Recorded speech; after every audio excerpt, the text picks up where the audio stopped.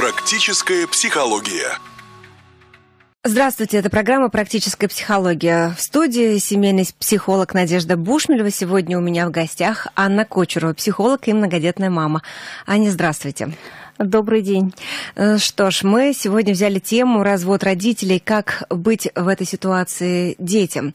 Попробуем э, посмотреть из позиции родительства, из позиции детства. Э, вообще, развод – это такое что это заявление, давайте, наверное, с этого да, начнем. И так ли это все трагично в современном мире? На самом деле ситуация наша меняется, и если раньше развод это был такой вот нонсенс, то сейчас это ну, вполне такое обычное явление, и люди расходятся, и довольно-таки расходятся часто мирно, а, с уважением друг к другу. Но, э, конечно, это все равно сложная ситуация и для самих родителей, и для детей, поэтому всегда в этом случае есть о чем поговорить с психологом. Конечно, говорят, а, есть такая прямо да, пословица, что э, суди о человеке не потому, как он вошел с тобой в отношения, а потому, как он вышел из, этого, из этих самых отношений. Ладно, если э, два взрослых человека принимают решение, что они не могут больше быть вместе, не хотят, э, нет в этом ну, как бы какой-то такой жизненной необходимости. И если, например, нет детей, да, то это одна история. История, хотя которую тоже можно, в общем-то, много почитать в книжках, да, и посмотреть в фильмах. Но если э, есть дети, и дети бывают разного возраста, э, давайте мы попробуем э, определиться, что если взрослые люди приняли решение, что они расстаются, то какой первый шаг должен был быть сделан, если, если есть дети? Конечно, в первую очередь э, это должно быть взрослое решение и взрослые разговоры на эту тему. Сначала друг с другом, прежде Сначала всего. с друг с другом, да, максимально постараться договориться друг с другом обо всем. Угу. А, о том, как мы будем взаимодействовать между собой, о том, как мы разделим имущество, о том, как мы будем, а, там, допустим, решать жилищные вопросы и так далее. То есть это все, собственно, детей не касается. Угу. И здесь, конечно, тоже очень много конфликтных моментов, поэтому Иногда это... мы посылаем к юристам. Да. Взрослых людей посылаем к юристам. Взрослые должны решить свои взрослые вопросы между собой. Причем э, лучше всего не втягивать в эту историю детей, будь то они подростки или маленькие дети, да, чтобы это было не на глазах, не на ушах этих самых деток. Да, э, это действительно очень важно. И когда доходит эм, все-таки очередь до того, как сообщить об этом детям, то здесь, конечно, тоже нужно быть максимально тактичным. И эта информация должна ребенку прийти от родителей, а не от там, бабушек, дедушек, каких-то там посторонних людей, э, воспитателей в садике, учителя в школе, неважно.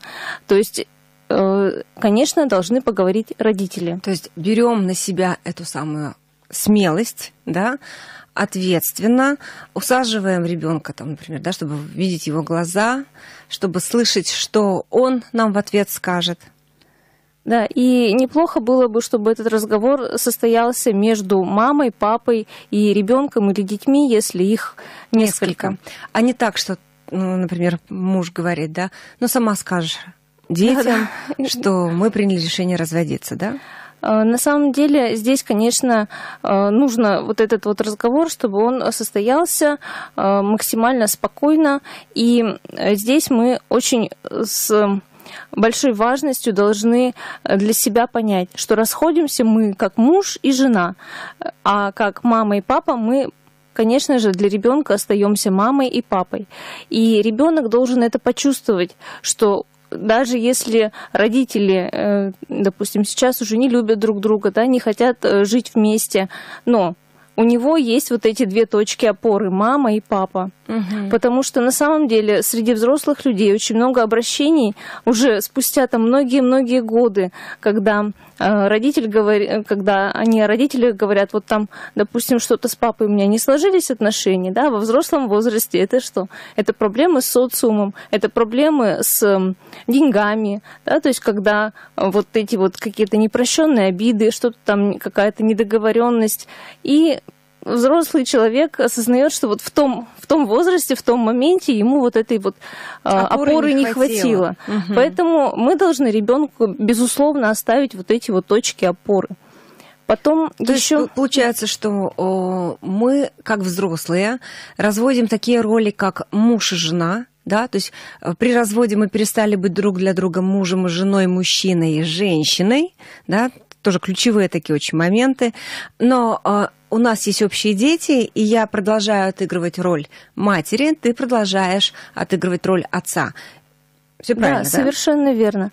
Э, именно вот эту роль надо для себя помнить, да, что я по-прежнему мама, я по-прежнему папа, и мы не свои какие-то личные да, обиды, э, недоговоренности, какие-то сложности мы не переносим вот в эти вот родительские отношения по отношению к ребенку, чтобы угу. это было корректно, чтобы ему эм, дать возможность наслаждаться по-прежнему вот этим своим детством, и когда у него есть мама и папа, которые его любят, которые о нем Э, заботиться. Угу.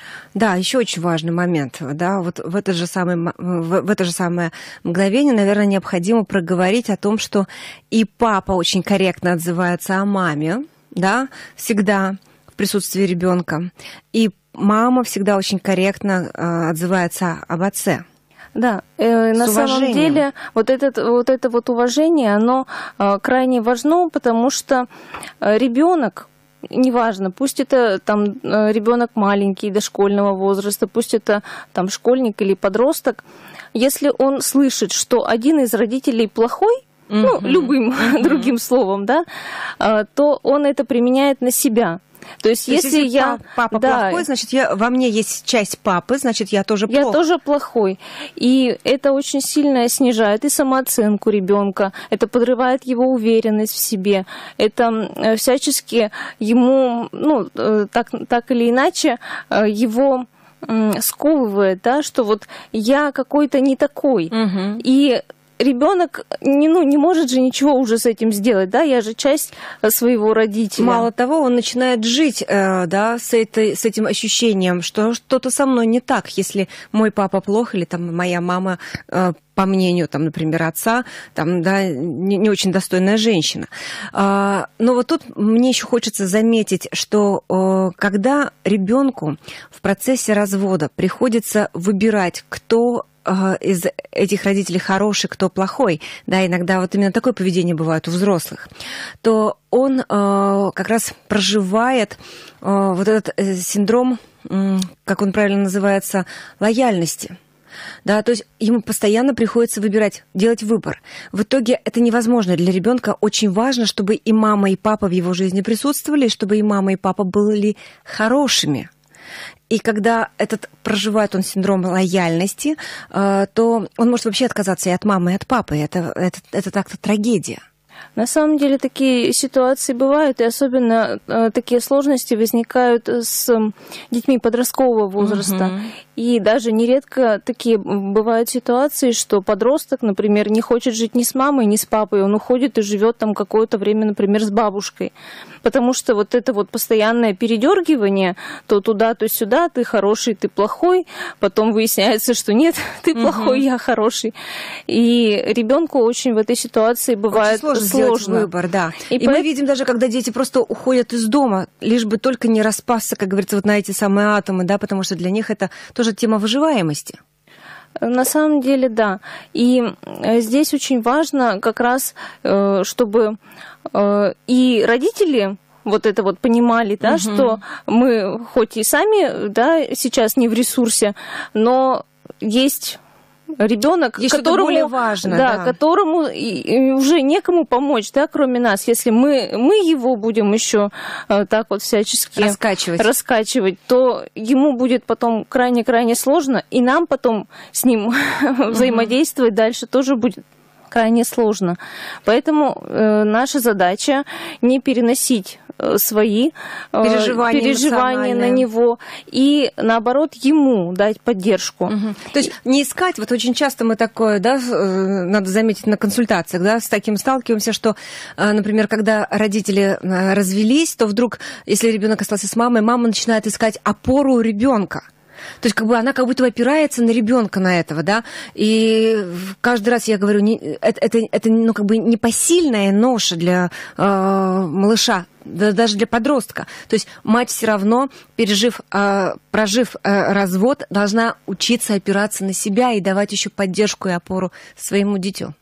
Да-да, именно это э, как раз очень важно бывает, донести до родителей, э, когда они расходятся, и вот как раз, допустим, у уже взрослых мальчиков бывает, да, что вот сложности возникают в отношении с мамами, либо это вот подростковый возраст, либо это уже когда мужчина взрослый и построил свою семью, а мама э, все еще, да, чувствует его как будто бы своим мужем, да, и там как-то ревностно относится к его уже супруге. Да, это вот мы сейчас как раз говорим про перенос ролей, да, то есть когда, например, э, в семье папа ушел, а осталась мама и мальчик, там, к примеру, ну, сын, угу, да, да, да, вдруг сын начинает отыгрывать роль мужа, да, в, в психологическом плане, то есть как будто бы он становится партнером для нее, поддержкой по жизни, да, да? да? То есть ты сейчас у меня единственный остался мужчина, да, часто очень такие установки транслируют женщины, и в итоге тем самым, э, можно сказать, ломает будущую, да, будущую жизнь своему собственному сыну. На самом деле, вот эм, когда мы находимся в моменте развода, когда мы находимся вот в моменте вот этих вот всех сложных эмоциональных ситуаций, мы часто забываем, о том, что вот это все, оно будет иметь значение в будущем. Угу.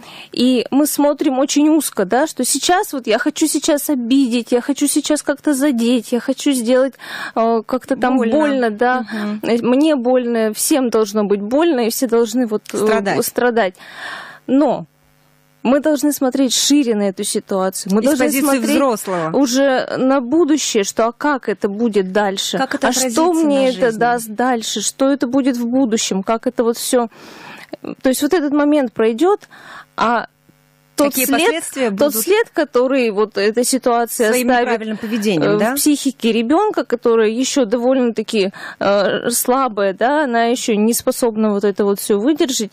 На самом деле это бывает крайне сложно, и потом уже со взрослыми выходя на эти все ситуации в консультациях приходится это вот к этому снова все возвращаться. Да, это, это уже процесс терапии. Так как же правильно сказать детям, объяснить детям, как правильно себя вести в процессе развода, чтобы как можно было меньше последствий? Э, на самом деле сказать можно абсолютно просто, да, не, эм, не выискивая каких-то там очень сложных слов, терминов. Э, ребенку мы говорим о том, что мы Тебя больше, любим. да, мы больше не хотим жить вместе, как муж и жена, угу. но мы по-прежнему твои мама и папа, мы тебя оба очень любим. Просто сейчас мы будем э, жить, ну, немножко иначе да, угу. и объяснить как. То есть, допустим, если мы переезжаем с тобой, значит, мы переезжаем. У нас будет новый если, дом. Да, если, например, папа, папа будет жить где-то отдельно, значит, ну, у вот таким образом. Дома. У тебя будет два дома. И на самом деле это, ну, ребенку эту ситуацию важно преподнести спокойно. Угу. То есть, если мы Без сами, окраса, да? сами из этого делаем трагедию, то ребенок, э, считывая наши эмоции, даже угу. эмоции просто, э, он тоже начинает нервничать, потому что если он не понимает до конца этой ситуации, он еще в силу возраста ее не понимает, э, то сейчас он именно ориентируется на наши эмоции, на то, как мы эту ситуацию проживаем. Угу. И если мы не можем ее спокойно, да, принять. спокойно принять и пережить, то, конечно, ребенок будет э, это все переживать, но уже по-своему. Угу. Тут подключается и психосоматика, и различные проблемы в поведении ребенка. Ну, то есть очень много разных Готовиться нюансов. можно к многому, да? Если, если вдруг вы понимаете, что это а, ну, ну, вам, вам не по силам и что-то выходит из-под контроля, то, слава богу, у нас есть специалисты, к которым можно обратиться. Да? Конечно, да. И здесь, пожалуй, эм, иногда бывает так, что там хотят, чтобы психолог, да, что-то там ребенку донес, сказал, объяснил, но э, порой бывает важно поговорить с самими родителями, чтобы их эм, правильно настроить, э, снять их э, какой-то сильный эмоциональный накал, и тогда уже, чтобы они говорили со своими детьми. То есть родитель должен а, сообщать а, о разводе детям а, все-таки из ресурсного состояния, да? Как минимум из нейтрального. Угу. Хорошо. Вот еще такой очень важный момент, что реакция у ребенка может быть абсолютно разной. А кто-то выслушает и скажет, отлично, я видел, что вы живете не очень-то счастливо, и я рад за каждого из вас, может быть, вы порознь будете счастливы. А кто-то скажет, а как вот сейчас мне жить, я даже не представляю, ведь я люблю и маму, и папу. И вот здесь у родителей должны быть готовые варианты, как жить будем. Или же э, вот это состояние подвешенности, как получится, так и будем. Конечно, когда мы даем ребенку ситуацию определенности, угу. это намного лучше. Порой, э, да, у нас еще даже сейчас нету какого-то готового решения у нас самих взрослых. Но ребенку мы должны это преподнести так, что у тебя обязательно будет дом, Угу. Да, то есть ты не лишишься дома в угу. любом случае, да, может быть, это будет э, там... Ну, это будет твой мир, Это да, будет где твой мир, сможешь... да, мы э, максимально постараемся сохранить для тебя комфорт. Угу. Да, а если, например, ну, речь идет о каком-то переезде, конечно, э, нет смысла скрывать от ребенка, что да, скорее всего, у тебя будет другой там детский сад, например, или ты пойдешь в другую школу. Но все не перем... делать из этого, Трагедия. опять же, трагедию, да. А сказать, настраивать ну, вот на то, что все, все, все перемены будут в лучшую сторону, да? Да. И все нам по силам. Конечно. И э, ребенок очень, э, опять же, он считывает нас. Угу. Если мы понимаем, э, что ну, мы, эту, мы можем решить эту ситуацию. То есть сейчас э, в современном мире мы понимаем, что безвыходных ситуаций нет. Mm-hmm. Что у нас есть другие детские сады, у нас есть другие школы, у нас есть очень большое количество различных квартир, да, различного жилья. Э, хорошо, когда у нас есть, например, родственники, и мы можем ну, предложить ребенку различные варианты, что вот, ну вот у нас будет вот так. Угу. Возможно, да, там, конечно, э, хотелось бы еще донести до ребенка, что не важно, что ты будешь, например, большую часть времени жить э, там с мамой или с папой, да, ты будешь видеться с другим родителем, даже с учетом того, что, например, мы ну, не будем жить вместе. Да, то есть, а, опять-таки, дать а, такую полную картину ребенку, что а, у тебя будет возможность вместе с папой, например, или с мамой отдыхать, вместе проводить время, и если, если договоренности у родителей да, есть, то тогда можно даже сразу же проговорить, когда это будет, чтобы ребенок уже мог простраивать, да, вот тоже какие-то свои представления, да, о своей собственной жизни. Давай попробуем, как же может ребенок среагировать на все это происходящее? Ребенок может среагировать по-разному. Конечно, если ребенок у нас маленький, э, мы можем не доносить до него сразу слишком много информации. Угу. То есть чаще всего именно э, такие школьного возраста ребята, подростки, они начинают уже больше вопросов задавать э, родителю сразу же для э, ребенка дошкольного возраста, ну, для него пока как бы очень важно дозированно эту информацию давать, и постепенно у него могут возникать какие-то вопросы. Угу. Мы постепенно на них отвечаем. Когда ребенок, ну, конечно, хорошо с ребенком на эту тему постоянно разговаривать. То есть угу. возник у него вопрос, мы разговариваем. Да, то есть мы не молчим, не замалчиваем. Не, да, и ни в коем случае не, не говорим о том, что я с тобой потом поговорю об этом, да? Чтобы у него был, есть вопрос, есть ответ. Да. Потому что он э, так же, как и вы сами, начинаем, начинает простраивать свой, свой новый мир, да, который вот состоит вот из таких деталей. А когда я увижусь, например, с мамой, а когда я увижусь с папой, а пойдем ли мы вместе там в цирк, да, а можно ли, чтобы мне кто-то почитал там на ночь книжку. И для него это, это целый мир, и этот мир должен э, продолжать сиять яркими красками. Здесь еще важный момент, какие вообще отношения были э, до, в принципе угу. до ситуации развода. развода. Угу. Если, например, один из родителей и так уже очень мало принимал участие в жизни ребенка, то возможно, что как бы ребенок сильно и не заметит, да, что что-то угу. у нас э, изменилось Это, в нашей кстати, жизни. очень такая распространенная история. Э, да. к сожалению, часто такое бывает, и эм, ну, в любом случае, дети растут, и ситуация меняется. И даже если, например, эм, мужчина, да, э, мало принимал участие в воспитании ребенка, ну, по разным причинам. Может быть, он очень много работал, может быть, он просто не понимал, что он может делать с ребенком такого маленького возраста. Но дети растут, и так или иначе у родителей в жизни что-то меняется, что-то меняется в их мировоззрении, восприятии тех или иных ситуаций. Поэтому говорить, что если папа никогда не общался с ребенком или там очень мало ему уделял внимания, что он никогда не захочет этого общения. На самом деле э, нередки ситуации, когда спустя время э, и дети сами ищут общение со своими э, вторыми родителями, угу. и эм, родители тоже всячески пытаются создать вот этот отношения. вот контакт, да, чтобы узнать, что тебе сейчас интересно, как ты сейчас живешь, э, как я могу поучаствовать в своей жизни. Угу.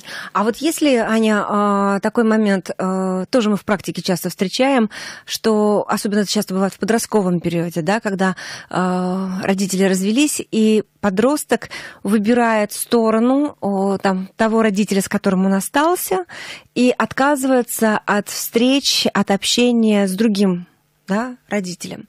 Вот как тут быть? Ну, на самом деле, во-первых, снова повторюсь, что все меняется. Угу. Если сегодня подросток обижен, сегодня подросток там как-то вот э, агрессивно настроен по отношению к другому родителю. Угу. Здесь мы еще должны э, не отбрасывать в сторону вообще, в принципе, возрастные особенности подростков. Вот давай про это проговорим. Здесь очень важный момент, то, что э, подростки вообще, они в принципе, э, им самим с собой сложно. Угу.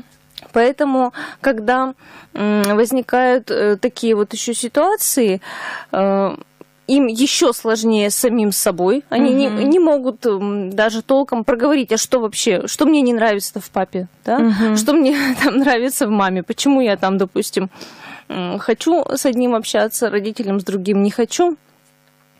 Э, конечно, их надо выводить на разговоры. Эти разговоры должны быть постоянными, пусть там какими-то такими небольшими, но э, тем не менее не э, замалчивать. Угу. Вот смотри, тут тоже может быть разная причина, да, например, а, ребенок а, сам не осознавая, например, он как бы взял причину того, чтобы не общаться с отцом, только потому что он решил поддержать, например, маму, с которой он остался, да, или наоборот, например, мама ему кажется в этот период очень, например, там истерично, очень неудобно, непонятно, да, то он э, всячески бежит из этой некомфортной зоны, да, в сторону, например, наоборот, отца, который, может быть, даже ушел, да, из семьи семьи тоже по причине истеричности, непонятности и как бы неадекватности, там, например, той или иной женщины. Да, а, вот э, во всех этих историях в любом случае э, родитель тот, который, э, к которому тянется ребенок, он как себя должен повести? Конечно, не надо говорить ничего плохого о другом родителе. Угу. Здесь наша задача подростку помочь просто помочь в этой ситуации. Э, может быть, что-то объяснить, может быть, э, как-то с ним проговорить ситуацию, да, что вот, вот э, так скажем, отбросив эмоции, угу. оставить только саму ситуацию, угу. что такое происходит и, ну, как дальше может развернуться ситуация. Ну, вот даже, вот даже давай вот прямо на примере, да, приведем. Например, подросток отказывается от общения с, с отцом, да, а некоторые мамы, пребывая в боли, э, в точке боли, да, они даже где-то внутри рады. Ну вот, видишь, я же говорила, да. А как должна мудрая мама поступить? Я вот все, чтобы, знаешь, чтобы мы прям вот, ну, да, вот так, э, как говорится, по буквам объяснили сейчас нашим слушателям, да, что э, что бы вы там не испытывали, вы должны ребенку объяснить, что нельзя отказываться, отказываться от отца да, что это сохранность, прежде всего, твоей цел, цельности, целостности, да, что все равно давай мы будем каким-то образом простраивать эти отношения. Может быть, это э, не, ну, как бы не в том объеме, в котором ты сейчас готов, да, пусть это будет э, телефонный звонок, пусть это будет там встреча там раз, ну, не знаю, там в месяц, да, но не теряй ее, эту, эту, эту связь. На самом деле, конечно, если подросток, ну вот бывает, что прямо так они, ну, очень-очень агрессивно, да, что угу. нет, нет, нет, угу. ни за что. Ну, конечно, в этой ситуации может быть прямо вот очень сильно настаивать. Как правило, для подростков это имеет э, обратный эффект. Угу. Но, но проговорить, но проговорить... Чтобы, он был, чтобы он услышал это, да. да, что я не против, я только за то, чтобы ты э, да, продолжал общение с отцом, например, там, да, или продолжал общение с матерью, да? Конечно, э, мы не, ну, как бы, можем, да, опять же, и для подростка мы можем разделить это. То есть, да, у меня есть какие-то там претензии, допустим, к моему бывшему мужу угу. или там к моей бывшей жене, но как папа он как идеален. папа, да, э, как мама, мы по-прежнему с тобой, да, и наша задача тебе помогать. Потому угу. что на самом деле в подростковом возрасте ведь сейчас очень много задач, да, даже начиная от подготовки там, к ОГЭ, ЕГЭ, угу. э, выбора профессии и так далее. То есть если мы сейчас будем окунаться только в свои эмоции, то мы можем э, ребенку не помочь вовремя с, в решении его задач, в решении э, тех актуальных вопросов, которые есть в его жизни. Угу. И, пожалуй, когда мы общаемся с, да, между бывшими супругами, когда общение складывается, то здесь вот мы как раз должны сделать акцент на том, что нужно нашему ребенку. Угу. Да, может быть, э, там нужно его отправить в лагерь, может быть, ему нужны какие-то дополнительные курсы, может быть, э, ему нужна помощь по какому-то предмету, может быть, у него есть какое-то увлечение, да, и нам нужно его как-то поддержать. Угу. Может быть, наоборот, возникла какая-то, ну, там, неприятная ситуация, может быть, э, ну, в общении с там, друзьями, с одноклассниками. Что мы можем сделать, чтобы решить эти вопросы? Мало того, мы с вами, э, как специалисты, понимаем, что чаще всего при разводе, если это подростковый период, да, нам дети выдают какие-то поведенческие реакции. И вот здесь, опять-таки, э, дети что делают? Они пытаются объединить ту семейную систему, которая распадается у них на глазах, да? И вот тут надо четко понимать, что дать ребенку объяснить, что ты своим поведением сейчас все равно не вернешь вот маму и папу. Мы, ты, ты, ты все равно нас, нас сейчас не объединишь. Поэтому не надо сейчас, да, вот творить то, что ты придумал, да, как бы тем самым, что, ну вот сейчас они у меня там, я им покажу, там, часто да, я вот сейчас говорят. Я вот сейчас убегу, да, и они вот будут вдвоем меня искать. Да, есть такие истории. То есть мы снимаем с ребенка ответственность за объединение, да, как бы э, семейной системы. Да. Мы говорим, что все равно это, это, это, этого уже не случится, да, и, и не надо сейчас брать на себя за это ответственность. Э, конечно, нам, опять же, мы ребенку объясняем, что как мама и папа, да, вот давай мы будем вот, вот в этой нише взаимодействовать. И мы угу. это будем делать, и мы можем в этом быть максимально эффективны. Да? А, наши отношения межличностные – это наши отношения, и мы будем в них, ну, собственно, разбираться сами. Угу. Поэтому и ребенка на это же, так скажем, ориентировать. Ну и объясняя ему, да, может быть, на примере каких-то фильмов, каких-то ситуаций э, в вашем окружении, да, что ну вот смотри, ну вот, вот там, да, ну разошлись родители, но ведь это не мешает э, там твоему другу э, взаимодействовать и с мамой, и с папой, да, куда-то там ездить, отдыхать, там участвовать в каких-то конкурсах и так далее. То есть это не, не сделало его несчастным, не сделало его каким-то там не таким, угу. да, ну вот так бывает. Практическая психология. Сегодня взяли тему «Развод родителей. Как быть в этой ситуации детям». У меня в гостях Анна Кочерова, психолог и многодетная мама. А, есть ли у нас какие-то, прям, вот, может быть, с примерами, да, с какими вопросами чаще всего обращаются родители вот, в данной ситуации? Если взять эм, ситуацию развода, когда дети более младшего возраста, да, например, дошкольного возраста, то чаще всего обращаются с тем, что у ребенка появились какие-то проблемы в поведении, ну и сюда часто очень приплетается психосоматика, потому что ну, ребенок не может э, умом все это как бы пережить, и он это все переживает телом. Через тело. Поэтому э, чаще всего обращаются родители с тем, что вот у ребенка поведенческие проблемы, да, на него жалуются в садике, э, сделайте с ним что-нибудь. Да, или, например, он стал агрессивный, да, стал или замкнутым, да, меньше входит в коммуникации. И э, для многих родителей это тоже как бы, да, история о ужас, ужас, ужас.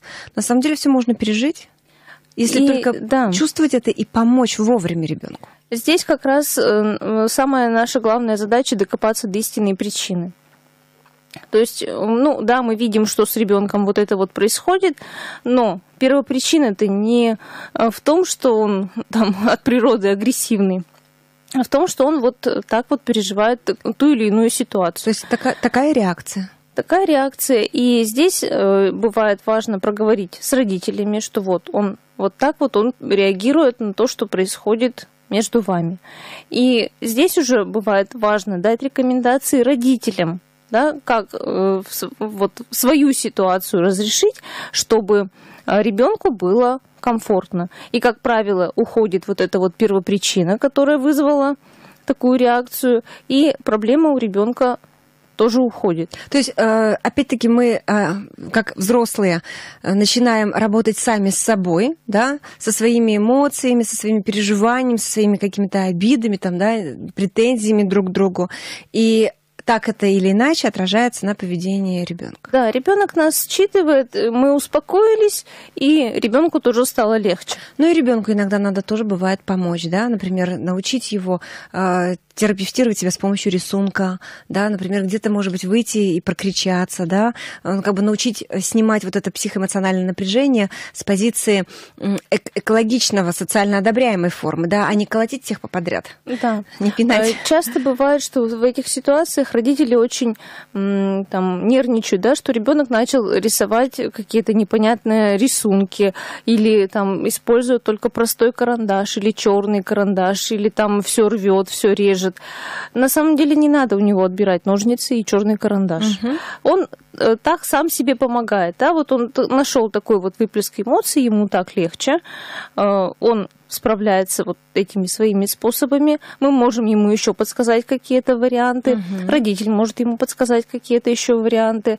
И э, плюс родитель работает сам с собой, Угу. И все это в совокупности помогает разрешить ту проблему, с которой родители обратились. Угу. Если родители обращаются с детьми дошкольного возраста как раз вот в ситуации, что, например, ребенок не хочет общаться с папой, или вот он, допустим, сходил к папе в гости, и он приходит какой-то не такой, тоже ну, такая довольно-таки распространенная история, и все равно так или иначе первопричина лежит в том, что у родителей есть причин, э, есть какие-то претензии друг к другу. Угу. И либо там, допустим, папа некорректно говорит о маме, а мама некорректно говорит о папе, и ребенок, когда идет к папе, он себя чувствует предателем по отношению к маме, угу. да, то есть э, он маленький, он еще этого не может назвать словами, но вот это вот его ощущение, да, что я как будто бы не имею права любить папу, угу, угу. да, потому что вот мама его не любит, и я тоже не имею права.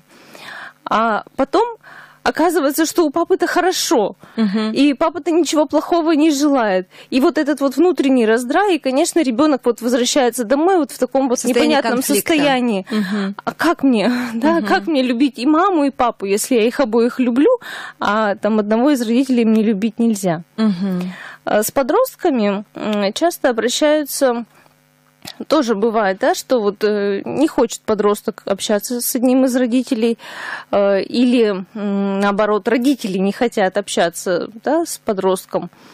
Ну, здесь тоже э, ситуации, конечно, бывают разные, но э, что важно помнить, что это все временно. Угу. Если подросток не хочет сегодня, это не значит, что он не захочет завтра. И если родитель даже там, которого так или иначе подросток сейчас игнорирует, если он все-таки любыми способами, пусть понемногу, но э, ребенку дает понять, что я рядом, я рядом. Если тебе нужна помощь, я рядом. И так или иначе это дает свой результат. Угу. Подросток понимает, что даже вот, пусть я вот такой колючий, да, все равно меня любят. Причем безусловно, и, безусловно. И, да, и всегда, и всегда будут рады меня видеть, и всегда меня примут, да? И в какой-то сложной ситуации он понимает, что я могу обратиться, угу. да, то есть я где-то немножко вот эти свои колючки уберу, и все-таки, да, я могу обратиться. Ну, а про колючки мы помним, что это все равно такая своего рода психологическая защита, да, может быть, даже на ту ситуацию, которая так или иначе возникла в семейной системе. Да, конечно, и, ну, опять же, не откидываем, да, кризис трех лет, это перевернутый кризис подросткового возраста, то есть вот эти вот все колючки, да, вот эти вот все я сам, конечно, да, они, конечно, ну, никуда, никуда угу. от них не угу. деться, если еще в этот момент мы усиливаем какой-то ситуацией э, сложной, такой вот болезненной, то все эти вот особенности, они как раз вот, ну, так или иначе, в негативном ключе нам угу. очень бывает больно проявляется.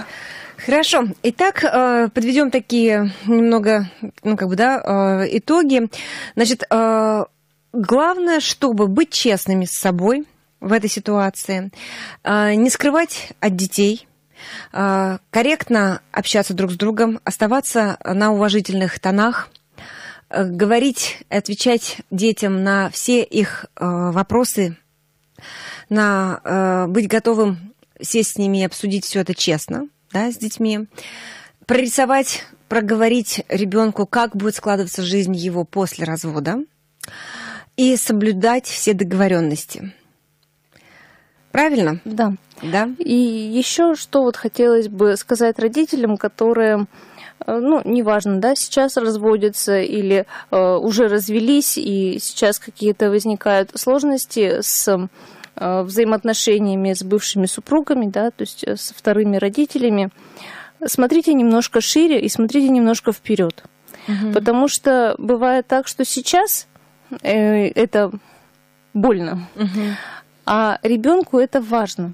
Угу. И мы можем ему дать вот этот вот фундамент. К сожалению, так случается, что мы с вами болеем, мы уезжаем, мы умираем даже в конце концов. И когда у ребенка больше вот этих точек опоры, больше взрослых, угу. к которым он может обратиться, то ребенку жить-то становится легче, потому что он понимает, что он не один в этом мире, угу. что вся жизнь не замыкается на одной маме. Да? Пожалуйста, дайте ему больше вот этих точек опоры. Отлично. Давай еще, у нас есть время, проговорим, а, что можно почитать, что можно посмотреть на эту тему. А, очень хорошие книги современного автора Ирины Млодик. Угу. Прямо вот обратите внимание, такое замечательное название «Книги для неидеальных родителей». Угу. Она очень много говорит о чувствах, о чувствах детей, о чувствах родителей. И э, книги эти читаются очень легко, и они дают э, понимание, да, а что же происходит у меня в голове, что происходит в голове у ребенка, и как нам э, помочь друг другу, как нам где-то даже не ранить друг друга лишний раз угу. да, в, в этих сложных ситуациях. Э, есть также книги, которые адресованы детям, да, то есть этого же автора, тоже Ирины Млодик, то, что можно, когда у вас не хватает слов, угу. которые книги можно дать ребенку почитать, чтобы он для себя вот эти вот какие-то простые истины а, понял, усвоил, да, и может быть э, с этой книгой, да, у вас будет какое-то еще общение между собой. Конечно, есть э, хорошие фильмы и даже и новые, и старые. Да, может быть, вот вы помните фильм «Мачеха» с Джулией Робертс. Угу. Довольно-таки старый фильм, но тоже очень много о чувствах детей, что происходит, как происходит, как им влиться вот в эту новую, новую жизненную семью. ситуацию, как принять новую семью, отца, матери. Вот об этом тоже можно посмотреть. Можно посмотреть. Угу. Интересная ситуация описана, э, показана в фильме «Пальма», да, недавно вышел фильм.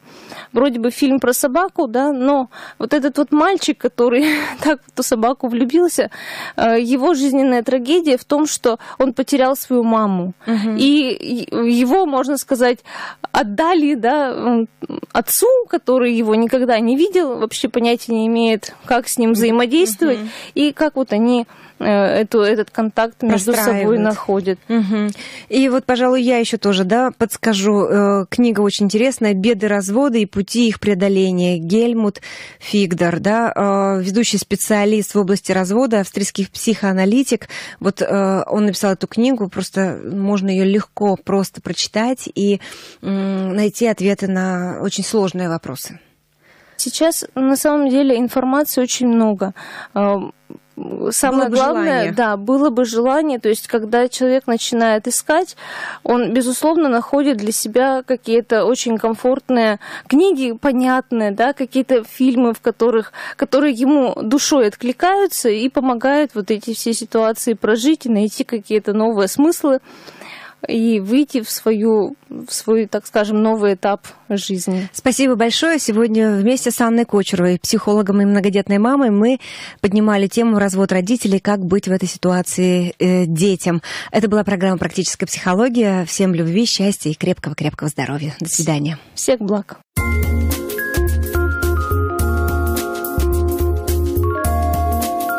Практическая психология.